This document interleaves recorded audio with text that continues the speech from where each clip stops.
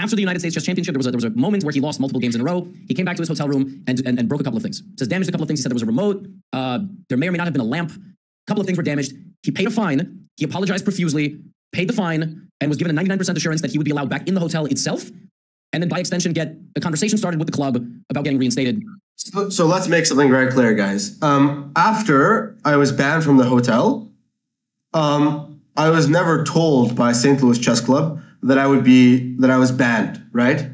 They only decided um, to to put an official ban in 2024 when I was trying to reach out to them to ask why they didn't invite me to any tournaments.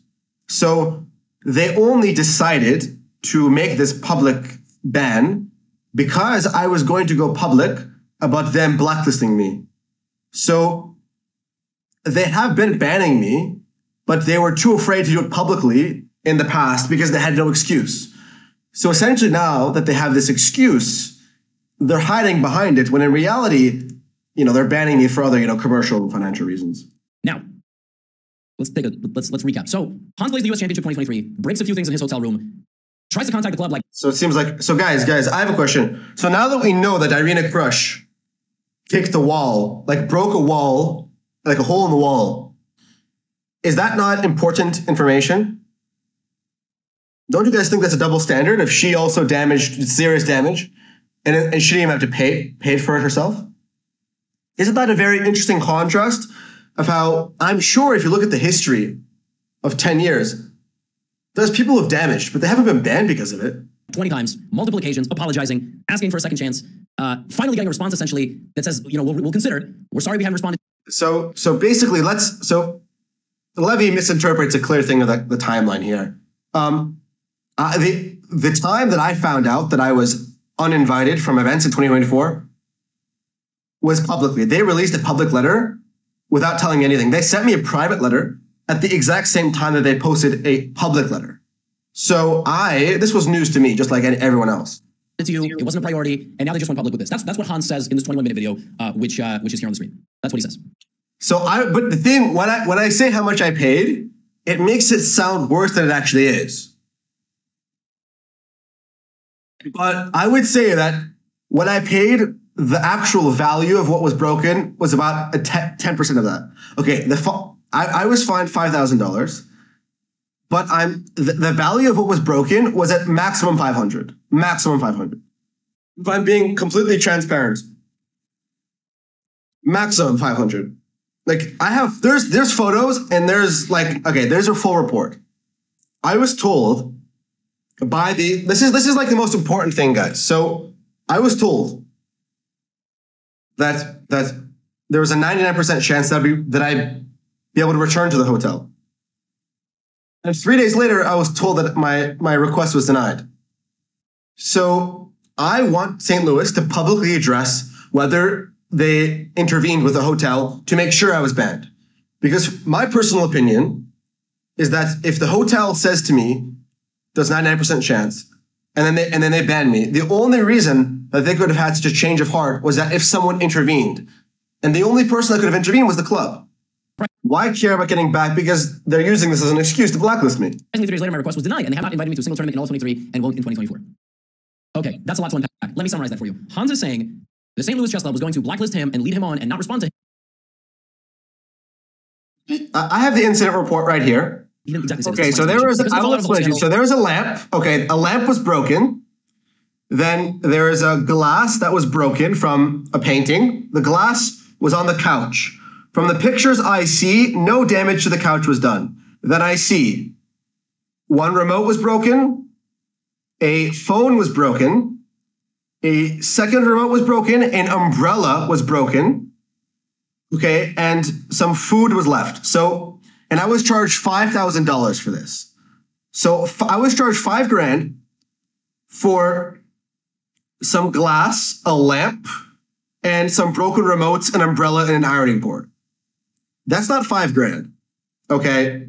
That's not five grand at all. That's like a, that's a complete, like I, I didn't break a hole in the wall. No, I did not break a painting.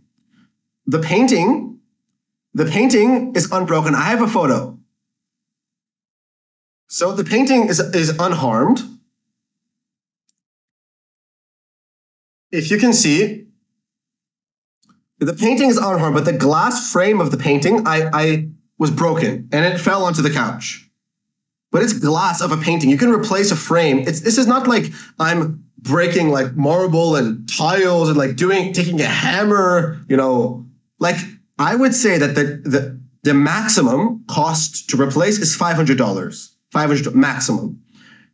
And okay, maybe they okay, fine. Also, let's say this: they have to take two days or three days to replace it. So they can't rent the room. The room is about 250 bucks per night. So maybe another 750, and then maybe the five, like five grand is, is like, they're profiting from this, you know? Uh, that is like, and I will also say another thing, guys.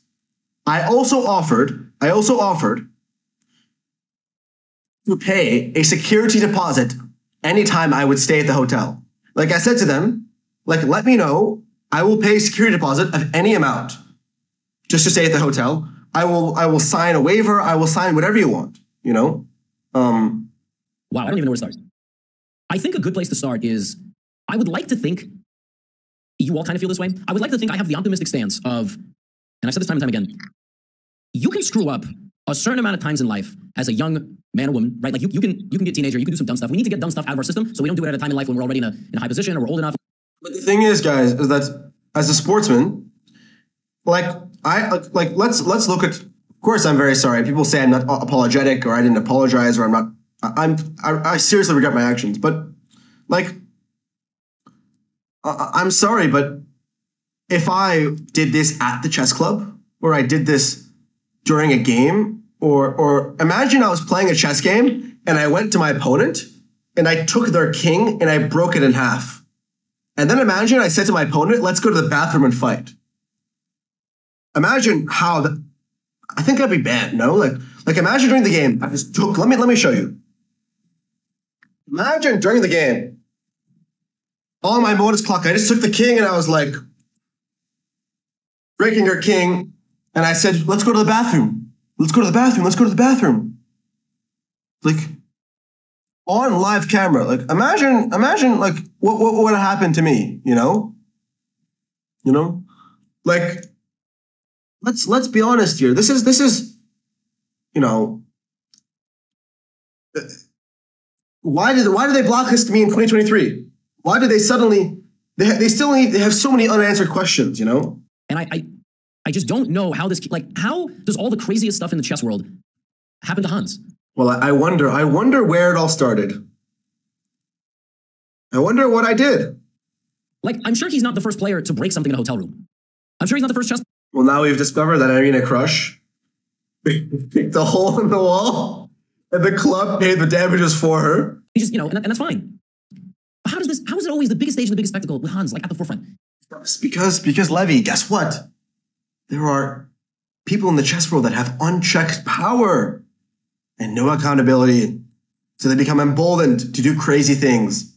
I, am sure that if I was if I was a basket if I was like a basketball player or a tennis player, they'd be calling me like, wow, he's so passionate. He just loves the game so much. Like if it was any other sport, they'd be calling me like, wow, you know, uh, he's young, but he makes a mistake. He's just passionate. He loves the game. He's going to really use this passion and, and, and harness it in the right way. Any other sport, you know, other than this stupid fucking boring chess game. Like they'd be, the, you know, they wouldn't interpret it like like this, you know, grave sin. You know, you think that they'd be villainized for some stupid, you know, passionate mistake. Your favorite athletes, time and time again, get into something. I, like, I just wish it would stop. Like I'm being serious. I wish this didn't exist. I wish Hans would just go play tournaments and win. I wish that I wish that I wasn't attacked by everyone. I, I wish that I could play chess normally.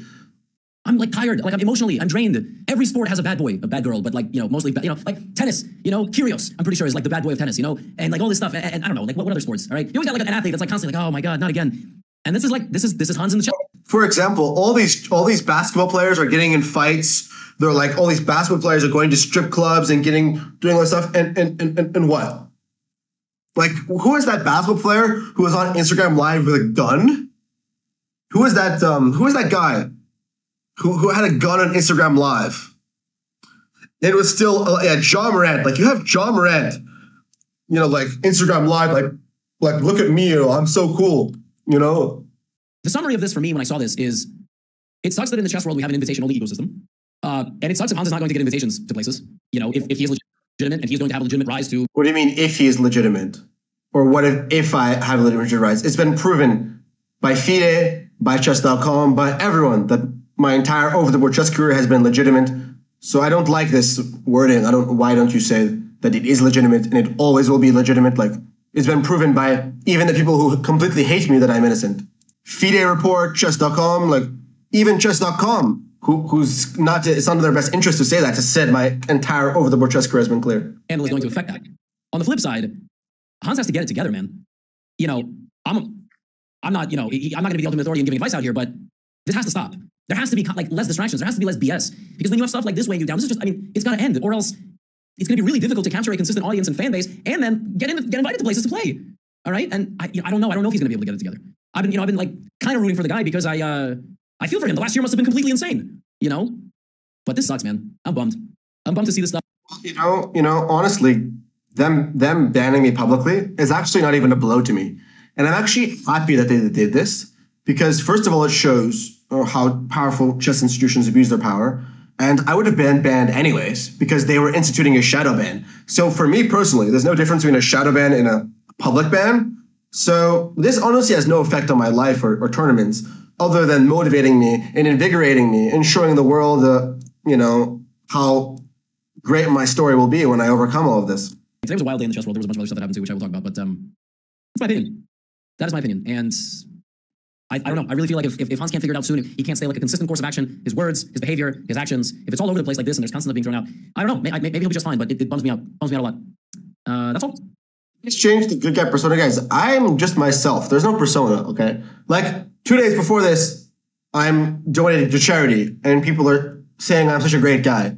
The next day, suddenly I'm a terrible guy. You know, like uh, people's perception of me uh, is only based on their actual perspective. You know, um, um, like if, if I donate ten thousand dollars to to young chess talents over the, all over the world, you know, I'm a bad guy. If I donate six hundred dollars to you know Nigerian kids so they can have health insurance I'm a, you know, it's it's it's a I don't you know